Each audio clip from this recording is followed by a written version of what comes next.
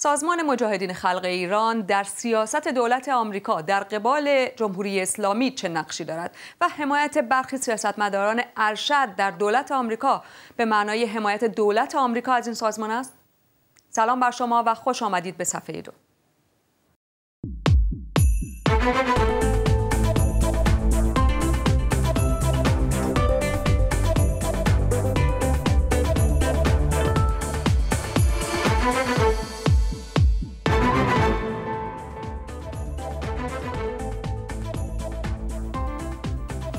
هفته همایش مجاهدین خلق ایران در پاریس برگزار شد. گروهی که به نظر می رسد حمایت بعضی از مشهورترین چهره های سیاسی ایالات متحده را حالا با خود دارد. رودی جولیانی شهردار سابق نیویورک و وکیل دونالد ترامپ درباره آنها گفته این گروه تنها گروه دموکرات آلترناتیو جمهوری اسلامی است و جان بولتون مشاور امنیت ملی آمریکا گفته این گروه می تواند تا پیش از پایان امسال جایگزین رژیم ایران شود.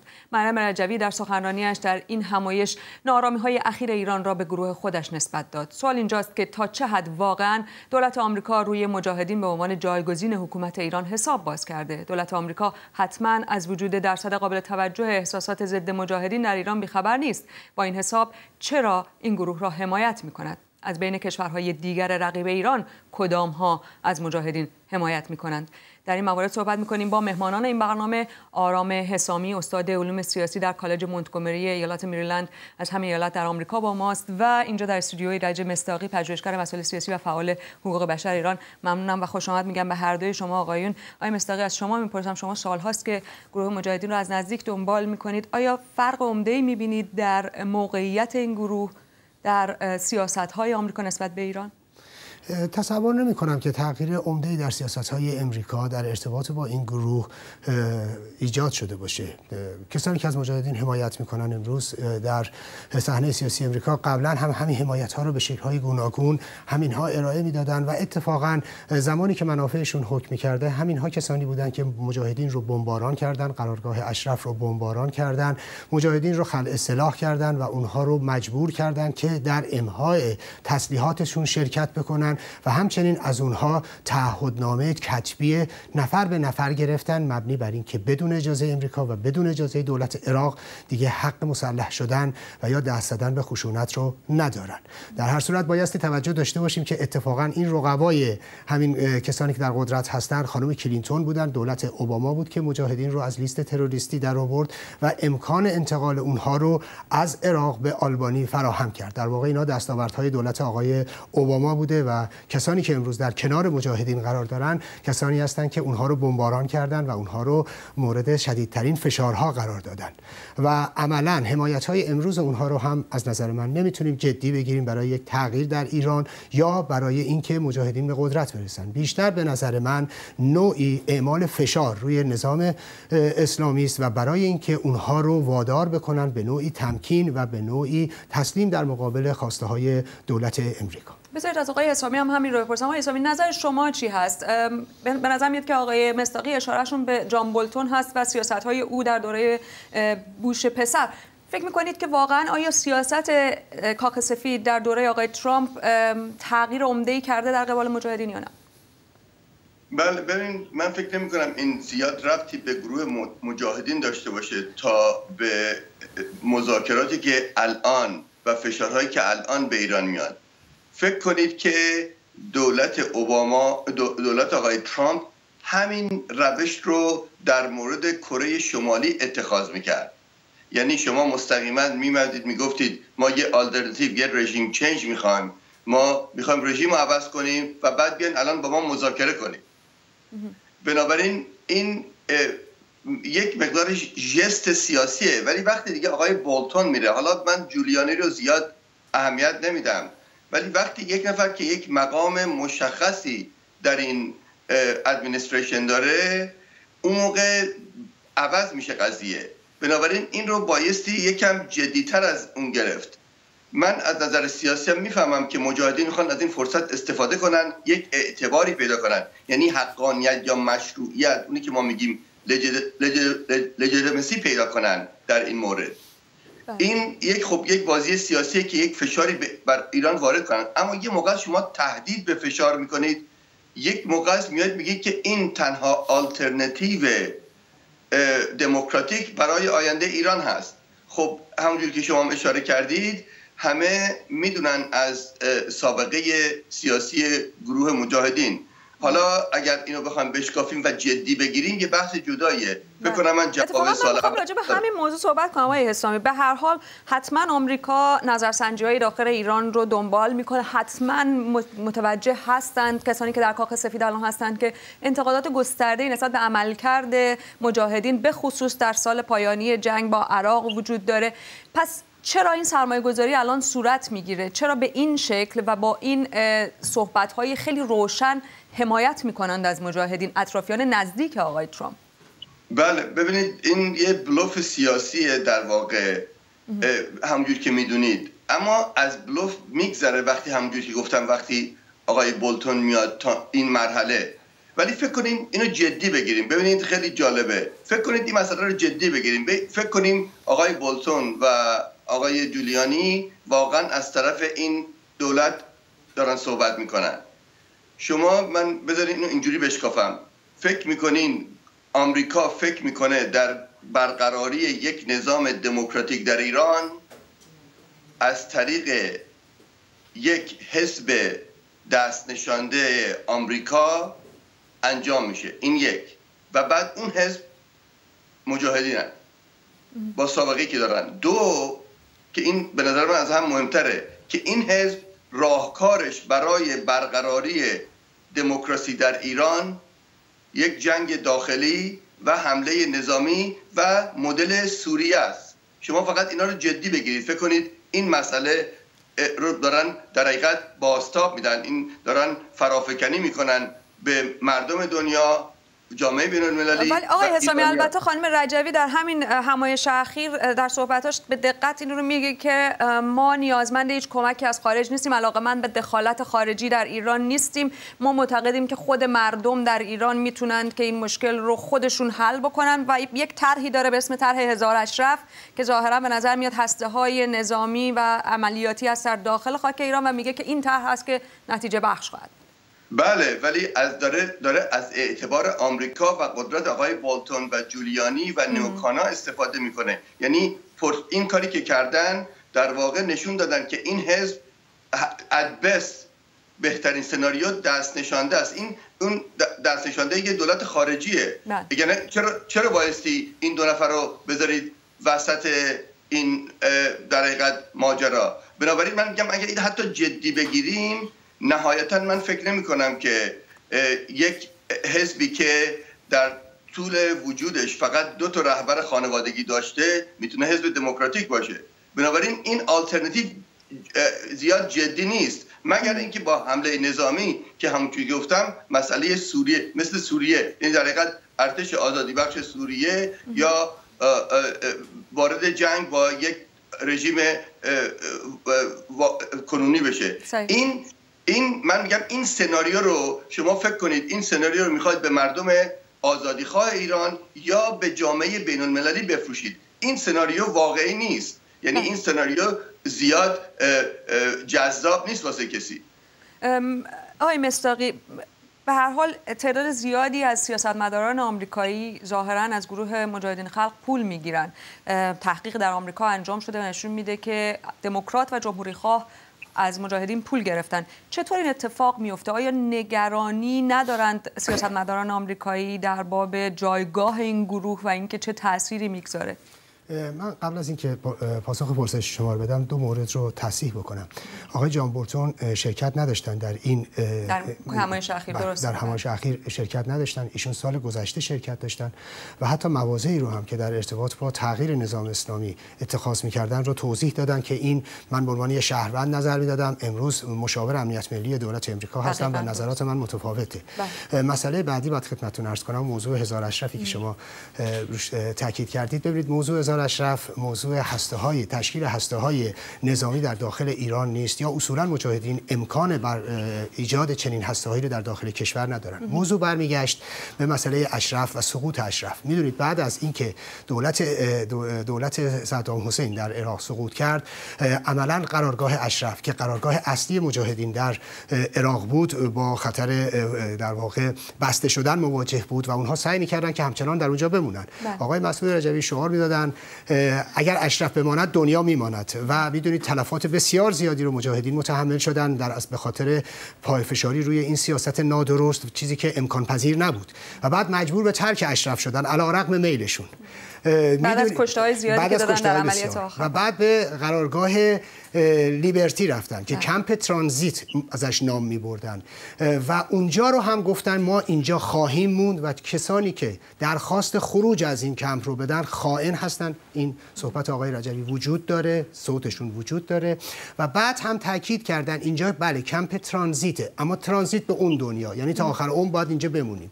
اونجا رو به نام اشرف دو می نامیدن و امروز آلبانی رو و قلعه که در آلبانی در نزدیکی تیرانا اونها تهیه کردن و نیروها رو در اونجا در زیر چتر تشکیلاتی خودشون نگه داشتن در واقع ازش به عنوان اشرف سه نام می‌برن. بعد از سقوط اشرف ها که به قول آقای رجوی بود و شکست مطلق سیاست ایشون تاکید کردن که حالا هزار اشرف می‌سازیم. بله. ببینید اگر امکان ساخت اشرف می بود هزار تا از نوع اون خب چرا قبلا نه؟ چرا قبل از سقوط صدام حسین نه؟ و امروز هم بحثی که خانم رجوی مطرح کردن کانون های شورشی. ببینید کانون های شورشی یه بحثی است در انقلاب کوبا و مربوط به 60 سال قبل در جنگل های کوباست در کوه های کوباست و هیچ ربطی به جامعه ایران خب الان آیا طرحی دارن مجاهدین؟ مطلقا. آیا به طور مشخص می‌تونن بگن که آقا ما این برنامه رو داریم می‌خوایم از طریق این برنامه رژیم ایران هیچ برنامه‌ای هم ارائه نمیدن. همین بحث کانون های شورشی همین بحث هزار اشرفی که روش تاکید می‌کنن عملا هیچ پایه‌ای در ایران نداره به خاطر اینکه الان 9 سال 8 9 سال دارن این سیاست رو ادامه میدن. به خصوص بعد از 88 و تشکیل یگانهای ارتش آزادی بخش در ایران ببینید اگر بعد از اینکه ارتش آزادی بخش منحل شد سلاحاش هم خودشون از بین بردن و تعهد دادن که دیگه مسلح نمیشن آقای رجوی به خاطر اینکه از تک و تاب خودشون رو هیچگاه نمیندازن و هیچگاه مسئولیت اشتباهات و شکست های خودشون رو نمیپذیرن ایشون تاکید کردن که حالا یگانهای ارتش آزادی بخش رو در داخل کشور ما ایجاد می‌کنیم بله. خب اگر امکان ایجاد چنین یگانهایی بود چرا قبلا نه چرا به عراق رفتید بله. ایشون تاکید می‌کردن که ما مجبور بودیم به عراق بریم و عراق بدترین گزینه بود چون از پاریس نمی‌شد رژیم رو سرنگون کرد. نکته جالب توجه اینه که ایشون امروز که معتقد بودن از پاریس نمیشه رژیم رو سرنگون کرد از تیران هم می‌خوان رژیم رو سرنگون کنن. الان برای من جالب هست که شما دائم از فعل مزاره در مورد ایشون استفاده می‌کنید در حالی که از پارسال یه شک و شبهه‌ای در مورد زنده بودن ایشون هم ایجاد شده. آیا خب. در مورد اون می‌تونیم صحبت خب بحث بحث در اینه که ببینید از نظر من ایشون حالا یا به لحاظ ایشون از نظر من زنده نیستن. چرا زنده نیستند؟ ارزم اینه. به خاطر اینکه ایشون یا در قبر مجازی به سر می‌برن یا در قبر حقیقی. وقتی شما حضور ندارید در صحنه سیاسی به خصوص به عنوان یک رهبر و بعد از این که حتی مرگتون رو یکی از بالاترین شخصیت های امنیتی و سیاسی عربستان سعودی متحد خودتون اعلام کرده عملا وقتی که نمی‌تونید به صحنه بیایید شما مردید حالا می‌تونه این مرگ به قول معروف در قبر مجازی قرار داشته باشید یا قبر حقیقی فرقی نمی‌کنه.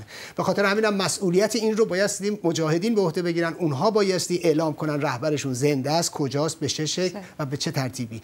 ولی در هر صورت از نظر من مجاهدین گفتمانی رو برای سرنگونی ندارن و نمی‌تونن ایجاد کنن. چون اساسا مجاهدین روی مردم ایران و روی جنبش داخلی و روی در واقع نگاه و نظر مردم ایران حساب نمی‌کنن.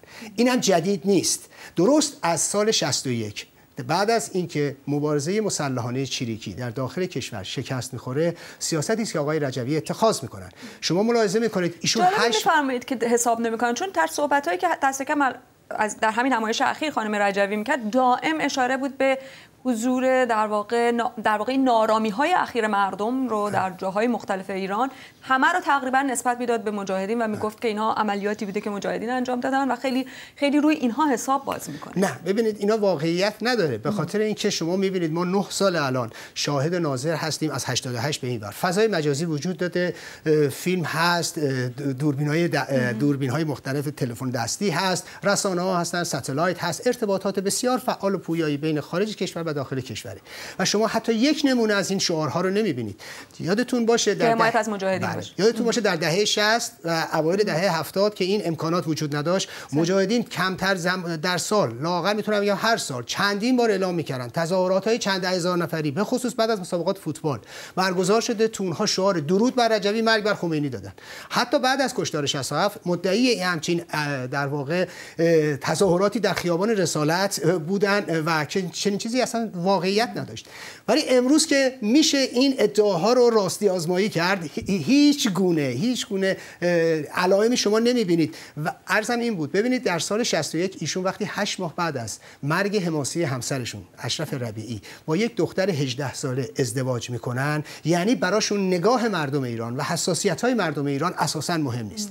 وقتی هم که اتفاقا با در واقع همسر یکی از دوستان و یاران نزدیک خودشون ازدواج می‌کنن باز حساسیت های جامعه ایران رو در نظر نمی‌گیرن بهتر حالا ما بحث رو بس... من ترجیح میدم بحث رو سیاسی نگه داریم تا در مورد بله. در واقع مسائل شخصی و شخصیتی شخصی نیست. حساسیت های مردم ایران رو عرض می‌کنم. بله. ببینید من نمیگم این کار قصلا غلطه. من میگم ولی در جامعه ایران این حساسیت ها با لحاظ فرهنگی وجود داره و شما به عنوان یک رهبر سیاسی نه همه من و شما متفاوت هستیم ولی به عنوان یک رهبر سیاسی و بعد رفتن به عراق در دوران جنگ. یعنی یک سلسله موضوعاته و مجاهدین از ابتدا سعی می‌کردن در شکاف ها زندگی کنن. بله. این شکاف بین جنگ ایران بزرگترین بزرگترین در واقع مسئله ای که برای محبوبیت مجاهدین در ایران ایجاد شد بعد از عملیات فروغ جاویدان بود یا اون چیزی که در ایران به عنوان مرصاد چیز شد. ما راجع صحبت می‌کنیم. ولی آقای حسابی به نظر هر دوی آقایون اصرار دارید روی این موضوع که در واقع دولت آمریکا به طور واقعی از گروه مجاهدین الان به عنوان یک آلترناتیو یا جایگزین ایران حمایت نمی‌کنه. بلکه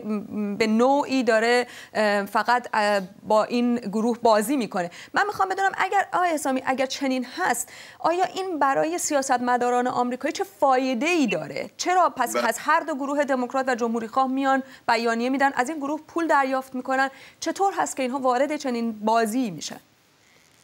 ببینید همون جوری که اگر ایران یا جمهوری اسلامی بایستی بگم از اهرم های مشخصی استفاده می‌کنه در لبنان در سوریه در یمن این الان هم دولت کنونی ترامپ از این اهرم می‌خواد استفاده کنه برای مذاکره یا گرفتن اون امتیازهایی که می‌خواد. من ببینید این یک بازی و جست سیاسی است ولی همونجوری که من عرض کردم فکر کنید این رو جدی بگیریم. فکر کنیم هم حرفهای آقای جولیانی حرفهای ترامپ و نیوکانا هست. بنابراین اگر اینو جدی بگیریم چون می‌دونید که نیوکانا اینا باور دارن که قدرتی که استفاده نشه فایده نداره. بنابراین ما از قدرت سیاسی اقتصادی نظامی آمریکا می‌خوایم استفاده کنیم. اون چیزایی که مطلوبمونه در دنیا مخصوصا در خاورمیانه پیاده کنیم. اینو جدی بگیرید. من موافقم که اگر اینو جدی بگیریم بگیم خیلی خوب آیا یک آلترنتیو سیاسی یک آلترنتیو واقعی به قول خانم رجبی غیر مجازی این مجاهدین می‌تونن باشن یا نه؟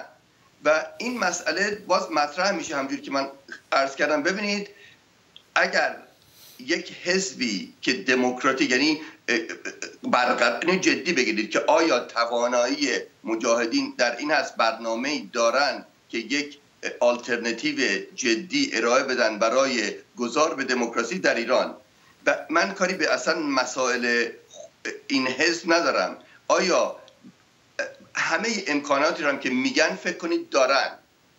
بعد شما بحثتون اینجوری میشه این میشه که آلترنتیوی برنامه رو که ارائه کردن برنامه سوریه کردن ایرانه. یعنی یک جنگ داخلی, داخلی با گروه های مسلح این آلترنتیو نیست. اینو از کجا میگید؟ آقای حسامی که چنین بحثی مطرح هست مجاهدین های چنین طرحی مطرح کردن؟ چون به نظر نمیاد چنین وقتی میگن وقتی میگن که ما کار ببینید این که ارتش آزادی بخش میشن و شروع می‌کنن فعال می‌کنن شبکشونو این معناش این هست. بله. وقتی میگن ما ما اسلحه داریم و پول داریم و ببینید آلترنتیو با شما یک برنامه بایستی ارائه بدید. حزب سیاسی بایستی یک راهکار نشون بده. این راهکاری که الان دارن نشون میدن با استفاده از موج به اصطلاح تحریم ها و دولت فعلی روی کار آقای, آقای من سوالم در مورد مجاهدین الان نیست. سوال من در مورد حکومت آقای ترامپ دولت آقای ترامپ بحث این هستش که خب آلترناتیو های دیگری ممکن بود وجود داشته باشه. این همه ائتلاف مخالفان جمهوری اسلامی گروه های مختلف در خارج از ایران هستند به هر حال سلطنت طلب ها هستند آقای پهلوی هست. چرا اینها مجاهدین رو به این شکل دارند حمایت می‌کنن؟ ببینید اولا هیچ حزب سیاسی منسجمی که خودش رو به عنوان آلترناتیو ارائه داده باشه نداریم. شما احزابی دارید که گوشی کنار کار می‌کنن. ولی هیچ گروهی نیامده بگه من در حقیقت یک دولت در تبعید دارم یک شورای ملی دارم. این, کسی اعلام نکرده. تنها کسی که سالهاست میگن که ما رئیس جمهور داریم قشون داریم پول داریم امکانات داریم شبکه داریم و می‌خوایم این کار رو انجام بدیم مجاهدین بودن بله. از, از طرف دیگه بحث پول هست. الان میگم یه تحقیق انجام شده یک روزنامه نگار آمریکایی و مقادیر قابل توجهی پول به سیاستمداران آمریکایی داده شده. همین همایش هایی که برگزار میشه همه اینها پول لازم داره. اگر درست باشه این برنامه هایی که میگن در ایران پیاده می‌کنن جاهای مختلف پول لازم داره. این پول از کجا میاد؟ آقای خدابنده قبلا مصاحبه کرده در آمریکا گفته که مسعود خدابنده از کسانی که از مجاهدین جدا شده قبلا ظاهرا رئیس محافظان آقای رجوی بوده. میگه که این اینو البته مستقلا بی بی سی تایید بکنه ولی میگه که از عربستان من خودم مثلا سه تا کامیون پول آوردم در عراق سالهای دور. بحث این هستش که آیا واقعا این پول ها از کشورهای مخالف ایران تامین میشه؟ چه کسی به مجاهدین پول میده؟ ببینید منبع اصلی مجاهدین در دوران حکومت صدام حسین در واقع دولت عراق بود و از اون طریق منابع بسیار زیادی رو به دست آوردن. از طرف دیگه می‌دونید عراق در دورانی که امکان فروش نفتش رو نداشت در پروژه نفت مقابل غذا عملا مجاهدین هم شرکت هایی رو تأسیس کرده بودند و از طریق فروش نفت عراق مقادیر زیادی رو به دست می آوردن در مذاکراتی که آقای مسعود رجوی با مسئولین عراقی دارن و فیلمش موجود هست. می‌تونید نگاه کنید به این مسئله تاکید می‌کنن و خواهان افزایش سهمیه مجاهدین هستند مسئله بعدی که اتفاقا این رو هم بگم در گزارشی که بعد از سقوط صدام حسین مقامات امریکایی منتشر کردن روی این مسئله تاکید کردن. اینجا لازمه به توضیحه که بگم اتفاقا سپاه پاسداران هم همین کار رو در ارتباط با فروش نفت عراق می‌کرد. یعنی از یک طرف مجاهدین نفت عراق رو میفروختن منافعش رو میبردن. از یک طرف سپاه پاسداران نفت عراق رو میفروخت و منافعش رو می‌برد. یه بخشی اونجا بوده. و حتی اگر شما مذاکرات آقای مسعود رجوی با آقای حبوش رو ژنرال حبوش رئیس سرویس امنیتی عراق رو ملاحظه کنید که فیلماش در فضای مجازی هستش تاکید می‌کنن روی افزایش در واقع کمک ها و روی تسلیحات حتی و اینکه در واقع مجاهدین هم میبایستی به عنوان یکی از لشکرهای دولت ارتش عراق از همون حمایت ها برخوردار باشه این بخشی از درآمدهای مجاهدین بوده و خب می‌دونید بخش از این درآمدها رو سرمایه گذاری کردن در کشورهای خارجی و از اون طرف از سال 66 بعد از اینکه دولت عراق روابط بین مجاهدین و عربستان سعودی رو برقرار کرد شما ملاحظه می‌کنید که ارتباطات بین این دو مجاهدین و عربستان سعودی و احتمالا شیخ نشین های خلیج فارس به وجود اومد و حتی خدمتتون ارز کنم که خانم رجوی به قدرت رسیدن پادشاه عربستان رو گاه تا دو بار تبریک میگن و عملا روابط بسیار نزدیکی وجود داره. این هم دلیل اصلیش به خاطر حمایت های مالی که از مجاهدین میشه. حضور آقای ترکی الفیصل که از افراد سطح بالای خاندان سلطنتی هم هستن در این نوع همایش ها معنی داره. خب به این حساب من اینو به عنوان بله. سوال آخر از شما بپرسم آیا فکر می‌کنید که کشورهایی مثل عربستان یا شیخ نشین های حاشیه خلیج فارس هم به گروه مجاهدین به عنوان یک آلترناتیو در ایران نه. اونها هم به این تردید نگاه نمی‌کنن. اونها هم به دنبال منافع خاص خودشون هستن و فشارهایی رو که خب می‌دونید جمهوری اسلامی روی اون کشورها میاره اونها هم از این طریق میارن. من یه موردی رو خدمتتون عرض کنم. ببینید آقای جولیانی و مایکل موکیزی وزیر دادگستری سابق امریکا که از حامیان مجاهدین هستن و از حامیان تحریم هستن و تاکید مؤکدی می‌کنن حتی در همین اجلاس هم آقای جولیانی تاکید زیادی می‌کردن. توجه داشته باشید ایشون وکیل مدافع و ایشون و آقای مایکل موکیزی وکیل مدافع رضا زراب هستند. رضا زراب عامل نظام اسلامی بوده و رضا زراب کسی است که تحریم ها رو دور می‌زده. و آقای ظریف هم تاکید کرد که در واقع امریکا با دستگیری او های ما رو پیدا کرده و اونها رو بسته. بنابراین آقای جولیانی رو نباید جدی گرفت. ایشون به نظر من دنبه رو با گرگ می‌خورن گریه رو با چوپون می‌کنن. این ضرور مسئله است ایرانی و من تصورم اینه که مواضع ایشون قابل اتکان نیست و قبلا هم بوده. باز من تاکید کنم در سال 67 بعد از سقوط شهر مهران توسط ارتش آزادی بخش در عملیات چلچراغ آقای مروین دایملی اون موقع ایشون واقعا یکی از نمایندگان کنگره سیاه پوست هم بودن دموکرات هم بودن. ایشون هم تاکید می‌کردن که امروز مهران فردا تهران. امروز سی سال از اون روز میگذره. و من بهتون براتون اشاره کنم من در سال 60 در شهریور ماه و مهر ماه 60 در پنج رشته تظاهرات در داخل ایران شخصا شرکت داشتم و مسئولیت داشتم. شعار اصلی و هر کدوم از این تظاهرات ها مثل عملیات انتحاری بود. چون می‌گفتن هر کینا که دستگیر بشن کنار خیابون بزنید بکشیدشون شعار اصلی در واقع توی این تظاهرات ها این ماه ماه خونه است خمینی سرنگون است. و توجه کنید بعد از 37 سال همچنان بدون برنامه خاصی و بدون اینکه استراتژی خاصی داشته باشیم و مردم رو پشت این برنامه و پشت این استراتژی داشته باشیم همون شعارها تکرار میشه و این در واقع سیکل دوباره ادامه داره. متشکرم از شما ایرج مستاقی و آرام حسامی. من باید یادآوری بکنم که ما با سازمان مجاهدین تماس گرفتیم برای اینکه در این برنامه شرکت کنند و نظراتشون رو مطرح بکنن متاسفانه به ما پاسخی ندادن. ممنونیم که با صفحه دو این سهشنبه همراه ما بودید. برنامه برای یک هفته روی وبسایت بی بی سی در دسترس شما خواهد بود. bbcpersian.com صفحه دو. برنامه رو می‌تونید روی کانال یوتیوب ما مجدد ببینید یا پادکستش رو بشنوید. لینک های یوتیوب و پادکست هم در توییتر ما منتشر میشه. at bbc page تو نشانی ما هست و روی فیسبوک هم facebook.com slash bbc page 2 می‌تونید نظراتتون رو از طریق توییتر و فیسبوک با ما در میون بگذارید. برنامه بعدی ما روز پنجشنبه. شب روزتون خوش.